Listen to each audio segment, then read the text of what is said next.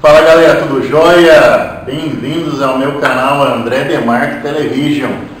Bora lá para mais uma matéria gostosa, uma matéria interessante, legal? Bora lá então? Então vamos puxar a vinheta, bora lá?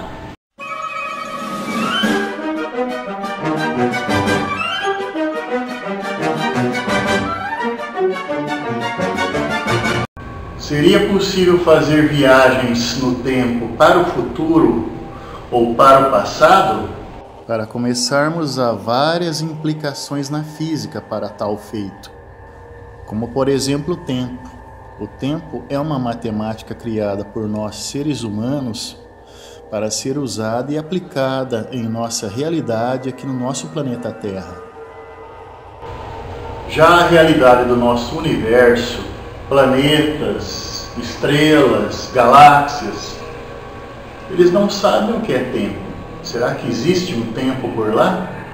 O professor de filosofia Bradford School já defende que o tempo faz parte do tecido espaço-temporal do universo, ou seja, que passado, presente e futuro coexistam entre si.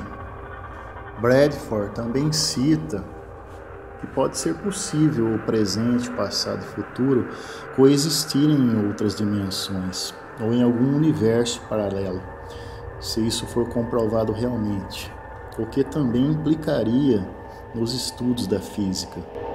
Já o grande físico alemão Albert Einstein, com sua grandiosa teoria da relatividade, já propõe que seria sim possível uma viagem para o tempo especificamente para o futuro.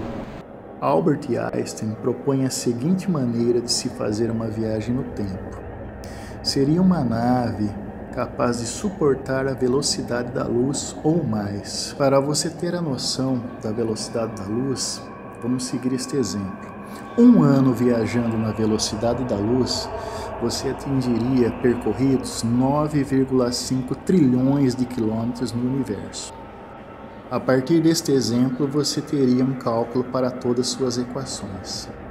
Temos também as teorias do grande físico Stephen Hawking, né? que aborda a teoria do buraco negro e dos buracos de minhoca, os famosos wormholes. Vamos falar mais um pouco disso já. Já Stephen Hawking defende que no universo há vários buracos de minhoca, ou seja, atalhos, né? Os wormholes. O que seriam esses atalhos? Como exemplo, pegaríamos uma nave viajando à velocidade da luz pelo universo, ok? A partir de um ponto até outro, seguindo uma reta, uma curvatura. E agora pegamos essa reta, essa curvatura, a dobramos, né? Formando dois paralelos, um embaixo e um em cima. Esta nave atravessaria entre esses paralelos, chegando assim ao local bem mais rápido do que de outra maneira da viagem. É isso aí, galera. Tudo isso é possível, sim, realmente. Mas tem mais implicações nisso. Um exemplo. Você viajar para o futuro, você iria encontrar o seu outro eu mais velho? Ou se viajar para o passado, o seu outro eu mais novo? O que seria isso? Você estaria clonando o seu corpo? você estaria vendo o seu clone mais velho, o seu clone mais novo. Mais uma implicação interessante na viagem do tempo. O paradoxo dos gêmeos. O que seria o paradoxo dos gêmeos? Vamos lá? Como um exemplo, pessoal, eu vou viajar agora sete anos-luz pelo universo.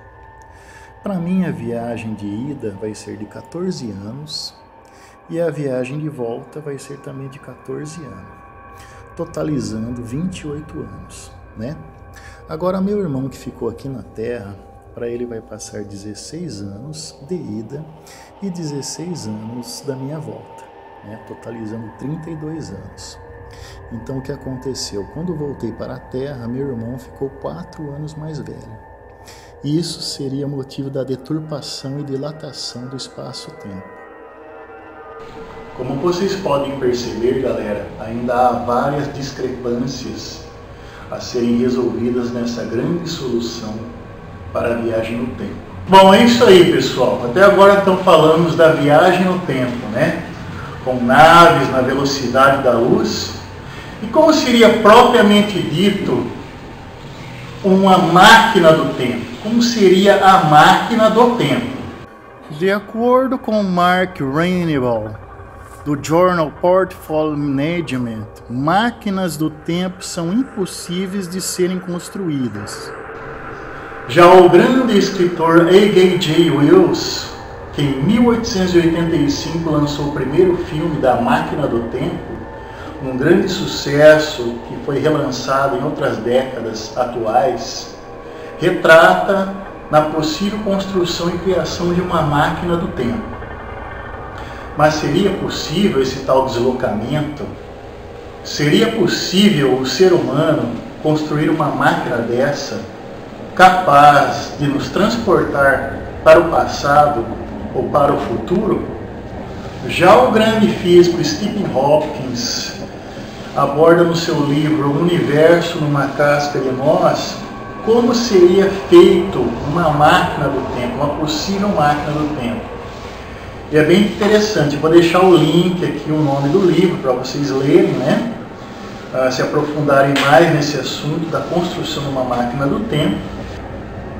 Ele aborda uma forma bem legal, galera, uma forma ilustrativa, usando uma locomotiva em forma de oito.